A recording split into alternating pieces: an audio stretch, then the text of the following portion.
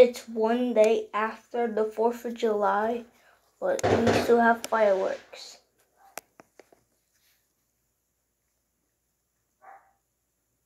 Oh, I think they're gone.